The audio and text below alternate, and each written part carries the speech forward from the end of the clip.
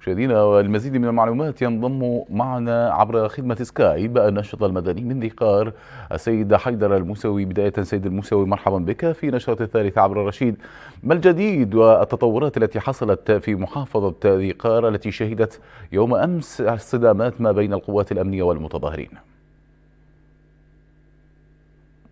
قناة الرشيد الفضائية وكل متابعيها في العراق والعالم. أهلا بك.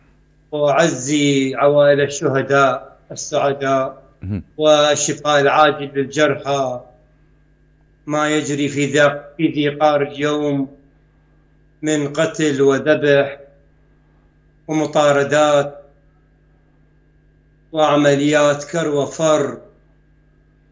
ما بين القوات الأمنية والمتظاهرين الشباب المطالبين اولا بحقوقهم وحقوق الوطن المغيب.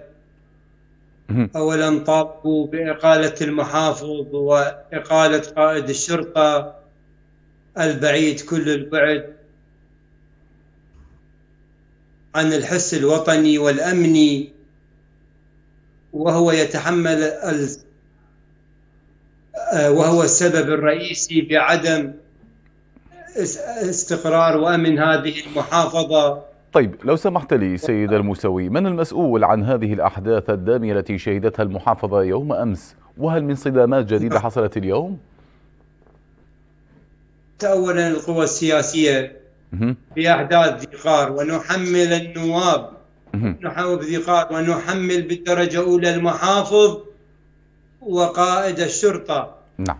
الذين وضعوا المحافظة في واد وحقوق المحافظة في واد آخر. مدراء عامون فاسدون ومسؤولين بعيدين كل البعد عن الإدارة والبناء والإعمار. وكل شيء أصبح في هذه المدينة مغيب. طيب ما هي المطالب؟ نعم ما هي المطالب التي رفعها المتظاهرون سيد الموسوي للحكومة لوقف نزف الدم الذي يجري حتى هذه اللحظة في هذه المحافظة؟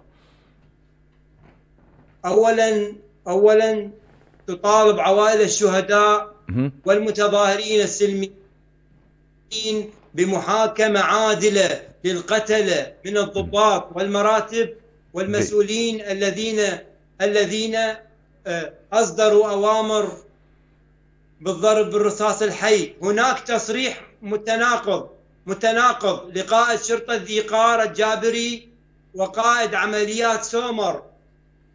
يقولون لن نسمح بالرمي أو باستخدام السلاح ضد المتظاهرين. لكن لكن اليوم نرى العكس القمع والضرب والقتل. أطفال لم يبلغوا الحلم غلام عمره 12 سنة و15 عاما و20 عاما سقطوا على أرض ذقار الجريحة.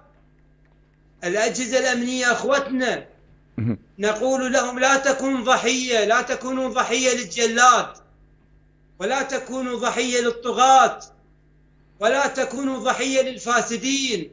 طيب طيب سيد الموسوي لماذا لماذا لماذا اليوم أو يوم أمس تم رفض السيد عبد الغني الأسدي محافظا لذقار وهو يعني كما يعلم المشاهد الكريم ويعلم جميع المحافظات وهو من الشخصيات الوطنية التي يشهد لها بالبنان. سيد الأسدي له كل الاحترام نعم. وكل التقدير. وهو الرجل من ضمن قادة صانع النصر والسلام والتحرير بالحرب ضد داعش. جيد إذا له كل التقدير. نريد الأسدي لمدة شهر أو شهرين كقائد أمني ومحافظ أمني حتى حتى قد من قبل أبناء ذي قار. لا نسمح بالمحاصصة. المحافظة بعد ما تتحمل. ما تتحمل بعد محاصصة نعم. ما تتحمل فساد. المحافظة مدمرة. المحافظة مهمشة. المحافظة مغيبة. نعم. المستشفيات البارحة تعاني من نقص من الدواء والملتزمات الطبية. حتى أماكن للجرحى ما تتسع المستشفيات. أصبحوا على الأرض البارحة. في الساعات متأخرة من الليل. حتى واضح. الكوادر الطبية مشكورة كوادر التمريضيه مشكورة كلهم وقفوا من أجل شباب ذي قار من أجل. ذي قار والان الآن نقطة مهمة نعم. نقطة مهمة تفضل الآن الآن الناش- الناشطين المدنيين والمتظاهرين السلميين وأبناء المدينة الشرفاء سيتوجهون إلى جسر النصر لوضع حائط حاجز ما بين القوات الأمنية والمتظاهرين حتى لا تحدث أحداث دامية لا نريد أحداث دامية جميل يقتل بها شباب بدم نهار طيب بارد عفوا نعم عبر سكايب حدثنا السيد حيدر الموسوي الناشط المدني في محافظة ذي قار شكرا جزيلا لك لانضمامك إلينا في نشرة الثالثة عبر الرشيد شكرا جزيلا لك مرة أخرى